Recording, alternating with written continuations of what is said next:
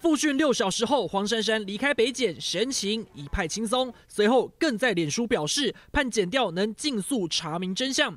原本在周三就要约谈，黄珊珊却称碰上重要议程，改期到周五，反倒是让陈佩琪先在周四应讯。他们两个会不会对口供这样的状况？我觉得这个几率啊不会不低啊。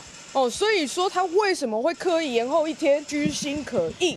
他掌握了这些讯息，但他却改了时间，让陈佩琪先先接受约谈，那他后续掌握状况。如果是陈佩琪，我会觉得说你怎么这么阴险？但距离柯文哲被羁押至今时间超过两个月，北检被质疑传唤动作实在太慢，此刻要从黄珊珊身上取得有用证词，恐怕为时已晚。在柯文哲啊，第一次啊。五宝这个出来的时候，那大家有没有记得他们都去黄珊珊的家？那有没有可能有这个已经做好串供的行为？台北市议员简淑培更爆料，早在黄珊珊担任议员期间，沈庆金就曾经为金华城百分之五百六十容积率找上黄珊珊，再加上三次关键便当会，黄珊珊皆有出席，不可能没有角色。扮演了律师，聪明绝顶，可以。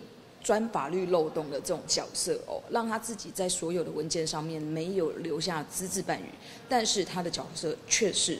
至关重要。如果没有他，我甚至认为金华城的二十 percent 龙奖都不可能成功。我想检察官应该也很想早一点约谈他啦，可是文件上面都没有任何字哦，要约他真的是很困难。金华城弊案延烧两个月，唯有黄珊珊至今仍是证人而非被告，是清白之身还是手法高明，有待检方厘清。记者董景瑞、蔡炳荣台北采访报道。